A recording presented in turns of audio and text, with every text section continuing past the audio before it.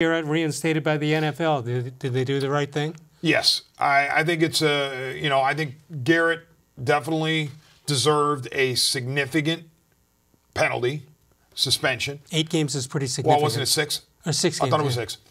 Um, I'm glad there wasn't any carryover. I'm glad it was resolved. Uh, now the Browns can count on Myles Garrett from day one of whatever it is, whether he shows up at OTAs or not, but at least camp. um, I didn't think that. I thought six was about right. Now, let me say this though. Myles Garrett cost the Browns dearly last year. And In the he- standings? Well, Yeah. who knows? I mean, if you think Myles Garrett is an impact player, he might have been worth one or two victories. Yeah. And would that have gotten the Browns in the playoffs based on what their final record was? No. No, would but it if, have uh, an potentially saved winner- some jobs? Yeah, but uh, you know, with a win or two in the right place, that put them in, into be uh, being relevant in Well, the last two, I three think games. specifically about that Pittsburgh game. I mean, I would like to think Myles Garrett in Pittsburgh uh, for the rematch would have been a, a an impact player in that game, especially given the the Steelers quarterback situation. So my point is, Myles Garrett skated largely, in my opinion, on term in terms of blame.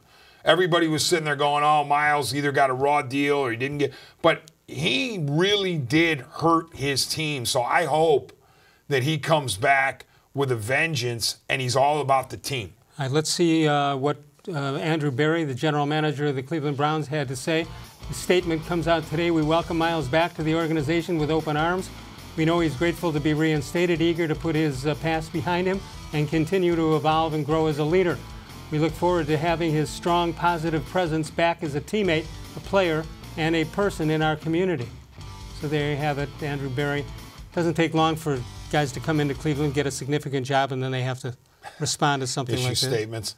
Um, yeah, I mean, good for Myles, good for the Browns, but I would love Myles Garrett to say, "Hey, I'm, you know, I blew it, and I re- I'm really sorry for this, and and I'm coming back 20 in 2020 better than ever." All right, you talked about his impact on the Browns and what that meant. Let's take a look at what we think that uh, did mean the uh, last part of the season. Myles Garrett uh, had uh, 10 sacks, tackles for losses 13, forced fumbles 2. And there you see the rest of it.